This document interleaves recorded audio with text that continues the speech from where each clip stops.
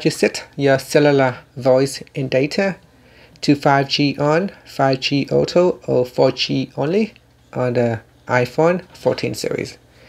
First swipe up to go back to the home screen and on the home screen tap on the settings icon.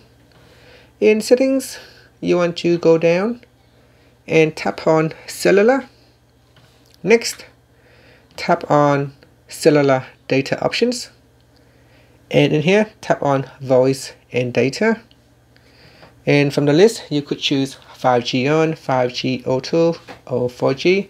Now in here you may see you have some different options depending on where you are getting your device from. If you are in a different region than I am, you may have some different options in here. And that's it. I'm going to choose 5G auto. And after that, you can tap on the back key to go back to your settings or swipe up to go back to the home screen. Thank you for watching this video. Please subscribe to my channel for more videos.